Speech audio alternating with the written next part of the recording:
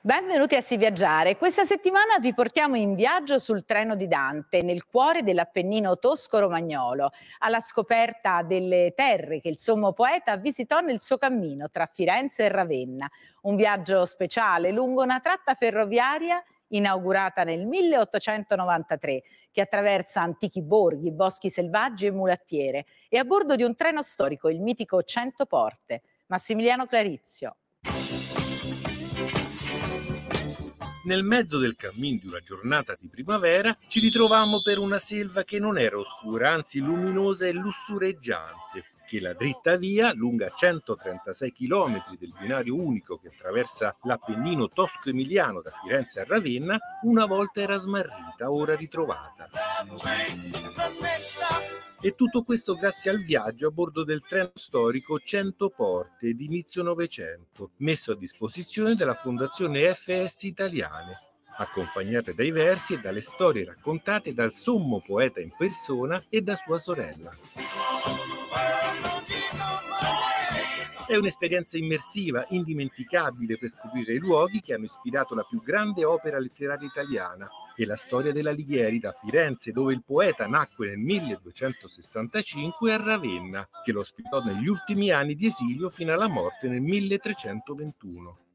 Sedili di velluti rossi interni in legno, il viaggio sul treno di Dante, iniziativa lanciata due anni fa in occasione del settecentenario della morte dell'Alighieri, è ripartita quest'anno all'insegna di un percorso lento nella storia ma anche nella bellezza, dei luoghi che hanno dato i Natali a Giotto e Beato Angelico. Si passa per Marradi, la cittadina celebre per le ottime castagne, per poi fare tappa a Brisighella. Non poteva non fare tappa in questo bellissimo paesino che è citato nella Divina Commedia, in riferimento al feudatario eh, Maghinardo Pagani da Susinana, che viene citato sia nel canto ventisettesimo dell'inferno che nel quattordicesimo canto del Purgatorio e poi non dimentichiamoci che Brisighella è uno dei borghi più belli d'Italia. E dove si svolge la sentitissima festa della spoglia lorda. Sto facendo la spoglia lorda, è la pasta tipica di Brisighella ed è fatta con, eh, si fa la sfoglia ben rotonda, mi raccomando, poi in una metà si stende il ripieno che si fa a base di ricotta, parmigiano, squacquerone, sale, noce moscata e un uovo, poi si, ripiega l'altra metà e si tagliano tutti i quadrettini e va cotto in brodo, assolutamente in brodo.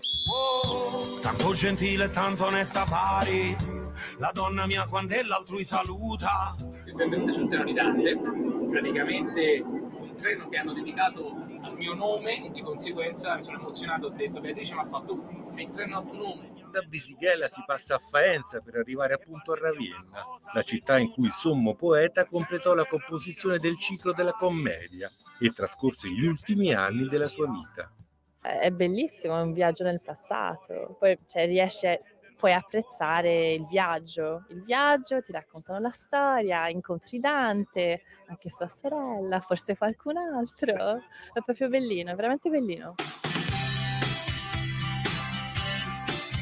Qui si visita la tomba del poeta, vicino alla quale ci sono la casa e il museo a lui dedicati.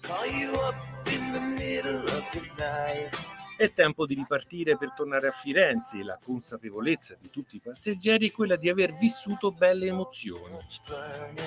Molto bella, mm, sarebbe da ripetere, sì, volentieri. Mi dispiace che siamo alla fine. Eh, è stata una bella esperienza e ancora c'è il viaggio di ritorno e ci godiamo dai finestrini pian piano. Il treno è meraviglioso, è proprio vecchio, vecchio, è bellissimo è stato molto emozionante.